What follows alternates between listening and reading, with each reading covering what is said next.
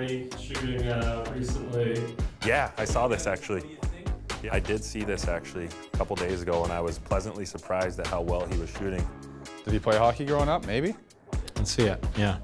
I don't think I've seen this yet.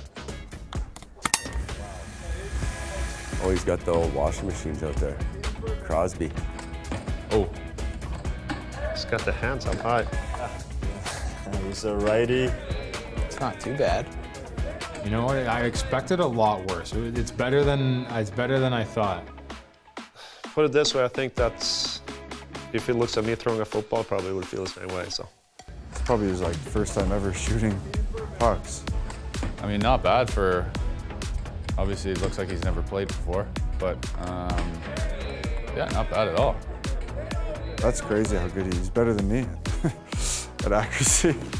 Um, if I were to throw a football, I don't think I would do very well. So I mean, it's pretty impressive for sure. Actually, pretty good. I uh, think I would have the same same scores as him. He looks like with a little bit of practice, he would. Uh, I think he's a pretty good athlete. So I think uh, I think with a little practice, he'd be he'd be a pretty good player.